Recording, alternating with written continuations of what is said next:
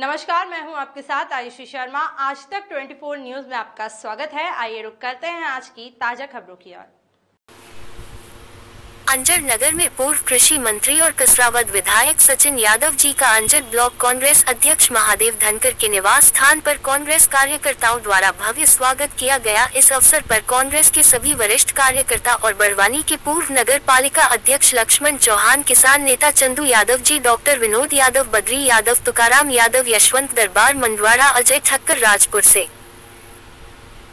अंजर के दयाराम यादव जी, सचिन यादव जी, गणेश यादव जी और कांग्रेस के अन्य कार्यकर्ता इस अवसर पर उपस्थित रहे। मीडिया से बातचीत में कसरावद विधायक सचिन यादव जी द्वारा लोकसभा चुनाव में कांग्रेस की क्या रणनीति रहेगी और खरगोन बड़वानी लोकसभा चुनाव में कांग्रेस का क्या एजेंडा है, उन्होंने मीडिया से क्या कहा, क्या कांग्रेस केंद्र में सरकार बन पाएगी और कांग्रेस के आगामी चुनाव में क्या रणनीति रहेगी, इसके बारे में मीडिया से जो भी कहा, आप भी सुनिए।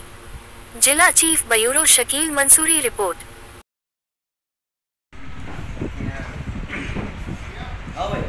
हम बात करते हैं कसरावत विधायक सचिन यादव जी से। सर, लोकसभा चुनाव को लेकर कांग्रेस की क्या तैयारी है? देखिए कांग्रेस पार्टी के समस्त जो कांग्रेस के हमारे कार्यकर्ता साथी हैं, हमारे परिवार के सदस्य हैं, पूरे उत्साह और उमंग में है और पूरी ऊर्जा के साथ 2024 का जो लोकसभा का चुनाव है, उसमें हम सब उतरेंगे और जिस हिसाब से जो विषय, जो मुद्दे जनता से जुड़े हुए मुद्दे आदरणीय राहुल गांधी जी लगातार उठा रहे हैं चाहे वो महँगाई की बात हो चाहे नौजवानों की बात हो चाहे माता बहनों की बात हो चाहे किसानों की बात हो हमारा जो न्याय पत्र है वो न्याय पत्र देकर हम जनता के बीच जाएँगे और हम पूर्ण विश्वास है कि इस बार बहुत अच्छे परिणाम आएँगे और हमारा जो इंडिया गठबंधन है वो इंडिया गठबंधन की सरकार को लेकर सर जैसे कि कोरलाल खत्ते जी जो अभी लोकसभा में खड़े हुए आदिवासी चेहरा है तो उनका क्या रिस्पॉन्स मिल रहा है?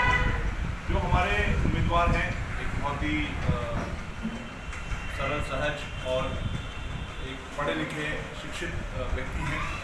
और एक लंबे समय से वो यहाँ पर लोगों की, जनता के बीच में रह कर के जनता की सेवा करने का काम कर रहे हैं।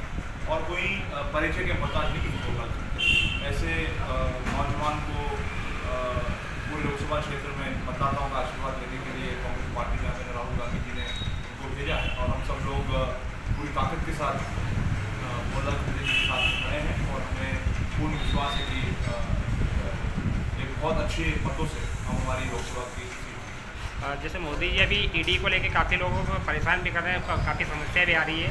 इसके बारे में देखिए निश्चित रूप से आज जितनी भी सरकारी एजेंसियाँ हैं सरकारी एजेंसियों का दुरुपयोग विपक्ष को दबाने के लिए विपक्ष के जो नेता हैं उनको डराने के लिए उनको धमकाने के लिए उसका उपयोग किया जा रहा है। और मैं समझता हूँ कि कहीं ना कहीं एक घबराहट जो है भारतीय जनता पार्टी की सरकार में है उनके नुमाइंदों में है।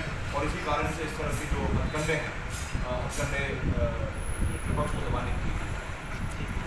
सर क्या लगता है आपको आगामी दिनों में केंद्र के अंदर परिवर्तन की संभावनाएँ नज़र आ रही है? निश्चित रूप से एक बदलाव की बहार है और लोगों ने एक मन बना लिया है। दस साल की इस निकम्मी नाकारा सरकार, जिसमें जनता से जुड़े हुए जो विषय हैं, मुद्दे हैं।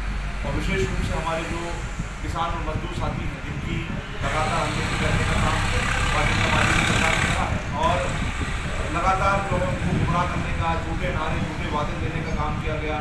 कभी पंद्रह लाख रुपए खाते में डालने की बात कही गई, कभी किसानों की आय दुगनी करने की बात कही गई, कभी उनको सत्ताईस सौ रुपये प्रति कुंटल उनका घरों खरीदने की बात की गई। तो ये सारे विषय जो हैं आज लोगों के संज्ञान में है लोग समझ गए हैं कि ये जो पार्टी है भारतीय जनता पार्टी छोटी पार्टी है और सिर्फ़ बड़े बड़े रिश्तेदार भाषण देने के लिए लोग बात करते हैं लेकिन लोगों से जुड़े हुए विषयों को समस्याओं को निदान करने का काम नहीं सर आप बड़वानी ज़िले के जो कांग्रेस के कार्यकर्ता हैं उनको क्या संदेश देंगे? पूरी जो हमारा कांग्रेस का परिवार है हमारा कांग्रेस के सभी साथी लोग हैं कार्यकर्ता साथी हैं चाहे वो पन्ना प्रभारी से लेकर के हमारे शीर्ष ज़िले भर के नेता हैं, सब पूरी ताकत से कांग्रेस पार्टी के आदरणीय राहुल गांधी जी की मंशा मंशा के अनुरूप